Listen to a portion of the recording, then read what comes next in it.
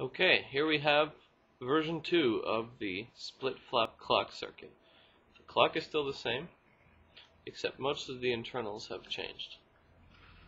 So, we're using still the Arduino Diecimila board to run the clock. Um, not much has changed there, except most of this hardware is now different. Let's take a closer look. First, we're using a DS1307 real-time clock chip from, uh, I think it's Maxim, or no, it's Dallas Semiconductor. Anyway, this chip basically handles the clock. After much testing, I discovered that the Arduino here doesn't keep time properly by itself. Uh, over the course of an hour, it loses about five seconds, which means that after a day, the clock is running two minutes or three minutes slow. So the Dallas real-time clock chip here, and you can see the little oscillator, that peg sticking up below it, uh, keeps time a whole lot better.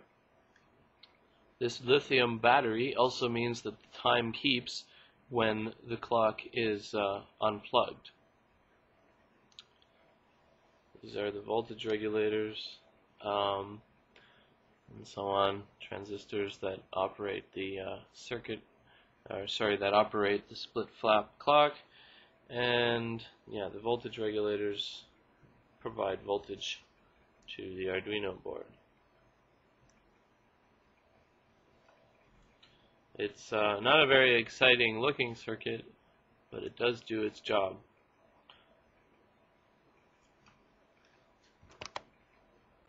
So now I wanted to demonstrate why I went with a real-time clock chip instead of, you know, just deriving the display by simply pulsing it once a minute.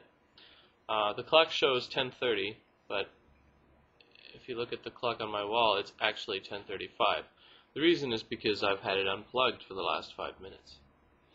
So what's going to happen is, because the real-time clock chip here knows what time it is still, thanks to this battery, it's going to be able to adjust. So I'm going to hit the power switch now,